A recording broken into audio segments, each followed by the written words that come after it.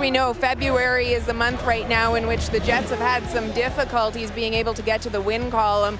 Four losses already in regulation. That equals the loss totals that they had in each of the first four months of this season. Nikolai Ehlers hasn't played in 20 games since January 4th. Will he be enough to inject enough energy into this club to get them back to their true ways?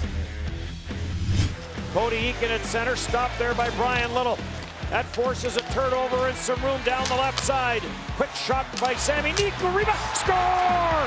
Nikolai Ehlers, 56 seconds, back into the Winnipeg Jets lineup.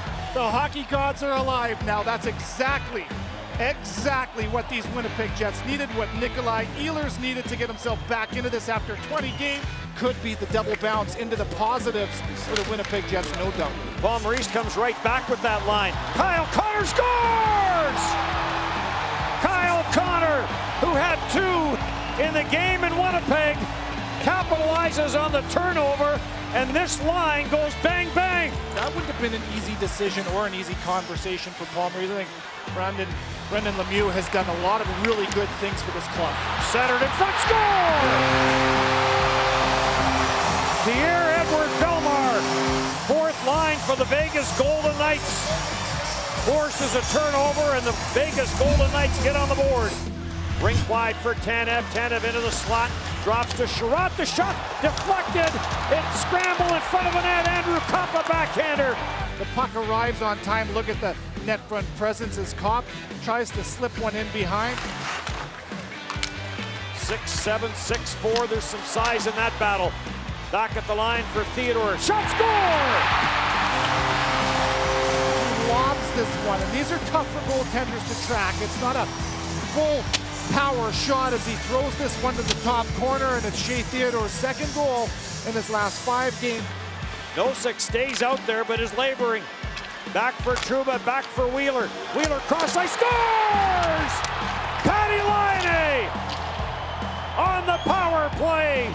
has the Jets in front by a score of 3-2. I'll tell you what, you get what you earn in this game more often than not. Patrick Laine eh, finally, after 15 games, nobody, and I mean nobody, needed a goal more. Seven shot attempts, three have found the net for Laine. Chiarot to the front of the net, score! Adam Lowry, who had gone 19 without a goal. And the Jets go bang bang in the final 31 seconds right there. You can see the big number seven down onto the half wall. He just throws it to the mosh pit. And how about the awareness from Adam Lowry? Like I said, his first in his last 19. The world is open to him as far as scoring goals. We'll see if he can harness that confidence from that goal. And where will that take Patrick Laine? Where will that take the Winnipeg Jets? Marchessault scores! Eight seconds into the Jonathan Marchessault has the Vegas Golden Knights to within one. Copp trying to get it back to Lowry, knocked out of midair, but then kept in by Tanev. Down for Copp, in for Tanev, oh what a save! Tanev point blank on Marc-Andre Fleury. Back up top, carries it in, five on three for the Jets. Was it in the wheelhouse for Laine? Wheeler sets it up again, Laine scores! Patrick Laine has two in the game and the Winnipeg Jets have a 5 to 3 lead. He gets an opportunity. The first time it wasn't where he liked it, so he waited patience and he lets the bazooka go. Vegas on it again. Ehlers diving to break it up. Can't Theodore cross ice. Oh, what a save! Connor Hellebuyck, outstanding.